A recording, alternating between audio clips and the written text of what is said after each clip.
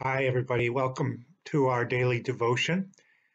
This devotion is for Monday, the 10th of November. It's another beautiful morning here in north central Indiana, looking out over the freshly harvested fields. The leaves are mostly down, the sun is shining, and I understand it's going to be near 70 degrees today beautiful November day, and I'm glad to be up with you this morning to share a little of the joy of this day and this daily devotion. Our reading today comes from Psalm 63. I'm going to read just the first half of Psalm 63. Now, before I read, I, I want to mention that this psalm has a, a prescript that is a, a dedication or a notation at the beginning of it that was added uh, after the psalm was composed that gives a sense of when and where this psalm was written, when, where, and by whom. And so it says, a psalm of David. When he was in the wilderness of Judah. Listen to Psalm 63. O God, thou art my God, and I seek thee.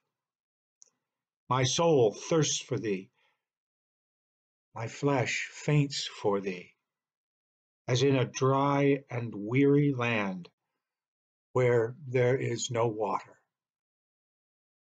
So I have looked upon thee in the sanctuary, beholding thy power and glory, because thy steadfast love is better than life. My lips will praise thee, so will I bless thee as long as I live. I will lift up my hands and call upon thy name. One of the things that's really interesting about this poem is reference to the sanctuary where David, in his heart, in his spirit, looks upon God and worships and finds both peace and refreshment.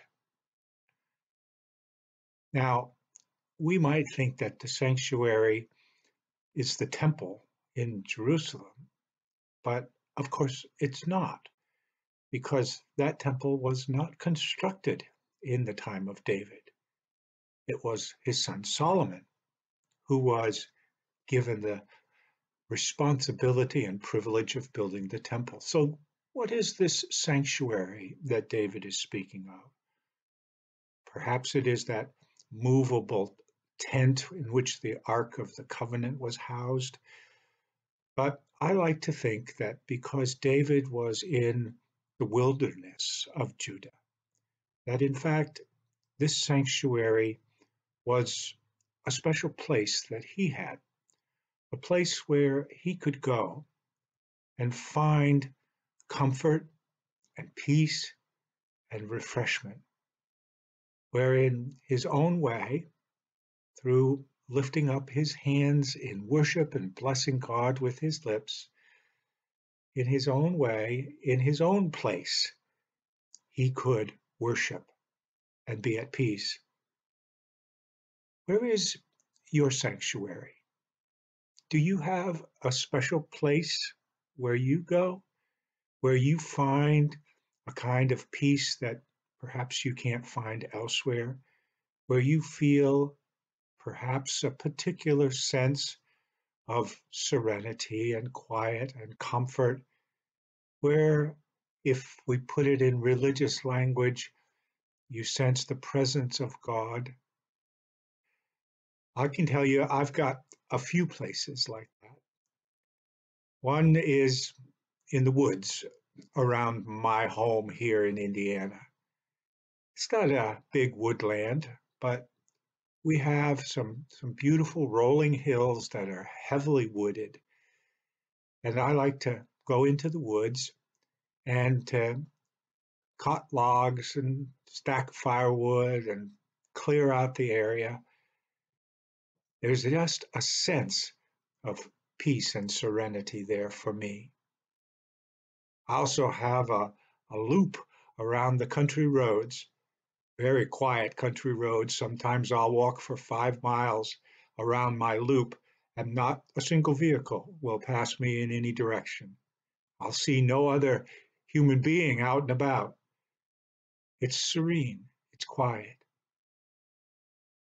I also have a spot in uh, my wood shop where I have a, a wood stove and reclining chair, old beat up thing, but sometimes I love to go out there and just sit. I'll have a, a cigar and a drink and just sit quietly by the wood stove, read from the Bible, or just meditate. And there I'm able to feel the loving kindness, the steadfast love of God, and feel surrounded and safe in God's presence. Where's your sanctuary? Where's the place where you can go and find that peace that passes all understanding, where you can rest and relax?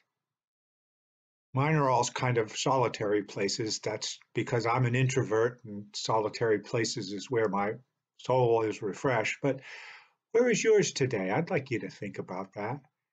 And perhaps if you have an opportunity, take a little time and go to your sanctuary today. Look upon all the wonderful things that God has done. Praise God with your lips or with your heart lift up your hands or just lift up your mind into the presence of God to worship and be at peace. Let's pray. Oh God, we thank you for your steadfast love, your loving kindness, as it's called in some versions of the Bible. Thank you, our God, that you have so arranged our world that whether it's in a busy city, in a cafe, in an art studio, in our own living space, you have set aside for us places that are special. We know that you are everywhere present, fully and equally, but some places we are in a better place to sense your presence. Those are our sanctuaries. And thank you for them, our God. Today, we ask that you will give us the time to guide us to our sanctuary, to be refreshed with your presence like a cool drink of water in a dry and thirsty place. We ask you to bless us with this gift today. In Christ's name, Amen. Thank you for joining with me for this daily devotion today. I look forward to being with you again tomorrow for another of our daily devotions. And as always, may God bless you until then.